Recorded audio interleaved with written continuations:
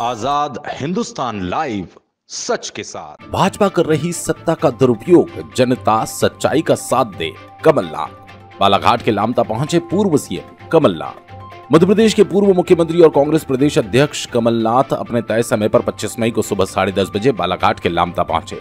इस दौरान उन्होंने मीडिया से चर्चा में कहा, कांग्रेस मंडल पदाधिकारियों की बैठक ली उसके उपरांत उन्होंने जनसभा को संबोधित किया और शिवराज सरकार पर जमकर निशाना साधा। उन्होंने कहा कि भाजपा पुलिस पैसे और सत्ता का दुरुपयोग कर रही है। जनता सच्चाई का साथ दे। इसके अलावा श्री नाथ ने चुनावी उम्मीदवारों के चयन पर भी चर्चा की। उन्होंने कहा, पूर्व में अपने क्षेत्र से चुनाव जीतने या जिताने वालों को इस बार मौका दिया जाएगा। श्री नाथ ने अपने पाँच वचनों को कांग्रेस सरकार आते ही तत्काल लागू करने का वचन दोहराया।